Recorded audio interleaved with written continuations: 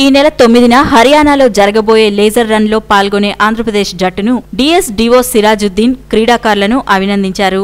ఈ సందర్భంగా ఆయన మాట్లాడుతూ లేజర్ రన్లో ఆంధ్రప్రదేశ్ జట్టు మొట్టమొదటిసారిగా పాల్గొంటుందని ఇందులో మంచి ప్రతిభ కనబర్చిన క్రీడాకారులు రెండు వేల పదిహేడు కేప్టౌన్లో జరిగే అంతర్జాతీయ పోటీల్లో పాల్గొంటారని అన్నారు. ఈ కార్యక్రమంలో coach Kakarala Srinivasarao Andhra Pradesh netball secretary B Sivaram Kondaveeti Srinivas తదితరులు పాల్గొన్నారు. ఒలింపిక్స్ లెవెల్ ఈవెంట్ దీనికి విజయవాడ నగరంలో ఈ మధ్యనే దీనికి ప్రోత్సాహం ప్రతిభ కనబరుస్తూ ఆసియా లెవెల్లో కూడా మెడల్ సాధించారు. అంతేకాకుండా ఈ ఈవెంట్లో మన రాష్ట్రం తరఫున జాతీయ పోటీలకు ఎంపికైన నలుగురు క్రీడాకారులు రేపు వెళ్ళబోతున్నారు. అక్కడ కూడా వీళ్ళు మంచి ప్రతిభ కనబరిచి రానున్న అంతర్జాతీయ పోటీలు సౌత్ ఆఫ్రికాలో జరగబోతున్నాయి.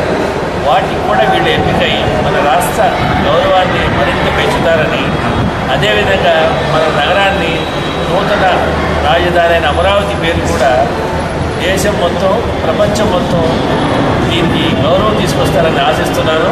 ఈ ప్రతిభని కనబరిచిన క్రీడాకారులందరికీ మరియు వాళ్ళని ప్రోత్సహిస్తున్న కోటన్ పెట్టాల్ అసోసియేషన్ సభ్యులందరికీ పేరు పేరున అభినందిస్తూ ఇలాంటి అవకాశాలు రాష్ట్రంలో నుంచి తీసుకొస్తున్నందుకు వాళ్ళని అభినందిస్తూ థ్యాంక్ యూ థ్యాంక్ ఈ గేమ్ గురించి మన రాష్ట్రంలో చాలా తక్కువ తెలుసు.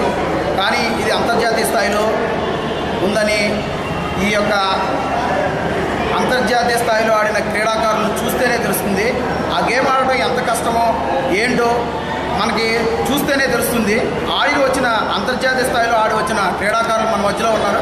వారిని అడిగి తెలుసుకుందాం ఈ గేమ్ గురించి. అసలు ఈ గేమ్ ఎలా ఆడాలి ఏంటి అనేది వారి మాటల్లోనే విందాము. అంతర్జాతీయ స్థాయిలో ఆడించిన క్రీడాకారుడు రాకేష్తో మాట్లాడదాం. మీరు అంతర్జాతీయ స్థాయిలో ఆడించారు కదా మీకు ఈ గేమ్ గురించి మాకు వివరాలు చెప్పగలరు? నా పేరు రాకేష్. నేను గత నాలుగు సంవత్సరాలుగా మోడల్ పెంటలో నేను గేమ్ ఆడుతున్నాను. అయితే గత సంవత్సరం రెండు వేల పదిహేనులో నేను ఇంటర్నేషనల్స్ పార్టిసిపేట్ చేసి వచ్చాను. నా మొట్టమొదటి ఇంటర్నేషనల్స్ వచ్చేసి రష్యాలోని మధుమి అనే ప్లేస్లో చేశాను అసలు మోటార్ పెంటలో అంటే first two hundred meters swimming చేయాలి. అది అయిపోయిన తర్వాత హండ్రెడ్ పీపుల్తో ఫెన్సింగ్ చేయాలి. అది అయిపోయిన తర్వాత హార్స్ రైడింగ్ మొత్తం ఫిఫ్టీన్ ఆబ్స్టికల్స్ చూపించాలి. ఆ తర్వాత eight hundred running forty second shooting eight hundred running forty second shooting చొప్పున మొత్తం ఫోర్ టైమ్స్ ఈ ఈవెంట్ చేయాల్సి వచ్చింది. అలాగా మొత్తం ఐదు ఈవెంట్ కలిపితే మోడల్ పెంచుతున్నాను అంటారు.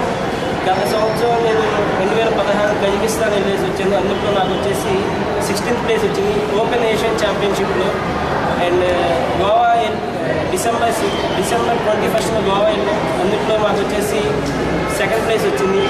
అండ్ ఈ గేమ్ వచ్చేసి ఇంకా దినదం అభివృద్ధి చెందుతుంది. అండ్ చాలామంది ప్లేయర్స్ ఉన్నారు. దానికి